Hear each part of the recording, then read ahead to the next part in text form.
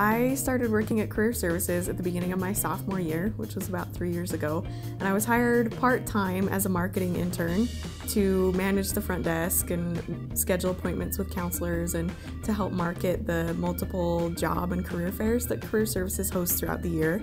And from the very start, my supervisor asked me if there's anything that I really wanted to learn or something that I wanted to do that I hadn't had a chance to yet.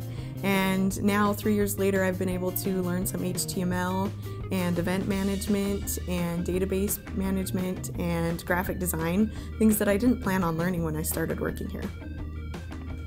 Our leaders here at Career Services have worked hard to cultivate a culture of positivity and teamwork and autonomy that I really probably won't experience anywhere else. It's a really unique environment, and we've just been able to thrive. And our leaders step back and let us do things our own way and come up with new, new, better, and improved ways of doing things. And that's I can't imagine a better environment to work in than here at Career Services.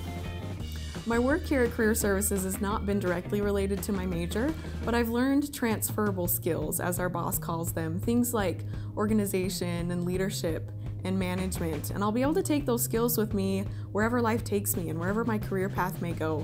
Career Services really has set the foundation for not only my career but my life, and I'm really grateful for that.